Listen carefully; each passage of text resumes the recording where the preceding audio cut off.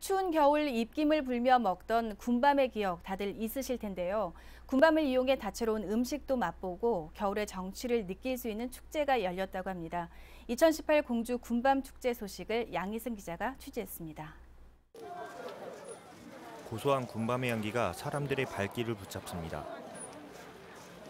차가운 겨울바람을 맞으며 연신 입으로 불어먹는 군밤은 색다른 정취를 느끼기에 제격입니다. 축제장 곳곳에는 밤으로 만든 각양각색의 음식은 물론 따뜻한 기억을 선사할 군밤 그릴존이 준비돼 남녀노소 누구에게나 공주 알밤의 새로운 매력을 발산하고 있습니다. 쉬는 날이라 이렇게 가족들이랑 축제가 있다고 해서 와봤는데요. 좀 예전에는 군밤이나 이런 거 파는 걸 많이 봤었는데 요즘에는 체험할 수 있는 기회가 많이 없었는데 직접 와보니까 체험도 할 수 있어가지고요. 애기한테도 막 소중한 추억이 될 것 같아서 참 기분이 좋습니다.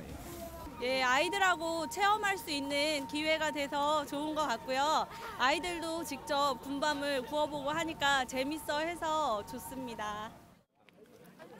축제장 한켠에는 학생 시절을 연상케 하는 모닥불 캠프파이어와 얼음 조각 체험장이 마련됐고 어쿠스틱 통기타 공연과 소원 밤송이 태우기 등 보고 즐길 거리가 풍성해 2월의 즐거움을 한층 배가시키기에 충분합니다.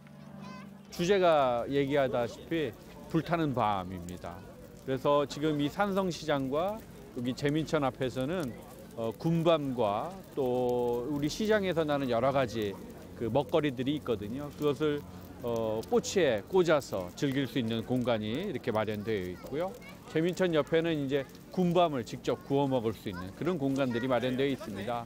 여러 가지 그 체험을 할 수 있는 그런 따뜻한 공간이 마련이 되어 있습니다. 예, 거기에서는 이제 어, 군밤을 활용해 가지고 과자도 만들고 빵도 만들고 또 퐁듀 뭐 이런 걸 만들 수 있는 올해로 처음 열리는 2018 겨울공주 군밤 축제는 눈과 얼음으로 대표되었던 겨울 축제의 상징을 불로 옮겨와 차별화된 축제 이미지를 부각시킬 계획입니다.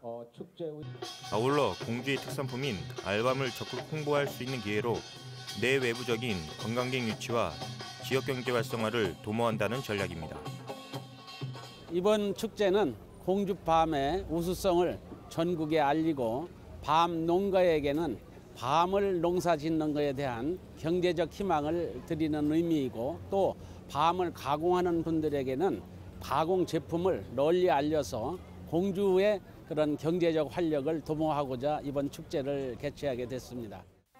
따뜻한 화로와 달고 고소한 군밤의 향기까지 겨울의 끝자락에서 만나는 공주 군밤 축제의 이유 있는 변신은 한파의 냉기를 잊게 할 맛있는 추억과 재미를 듬뿍 선사하고 있습니다.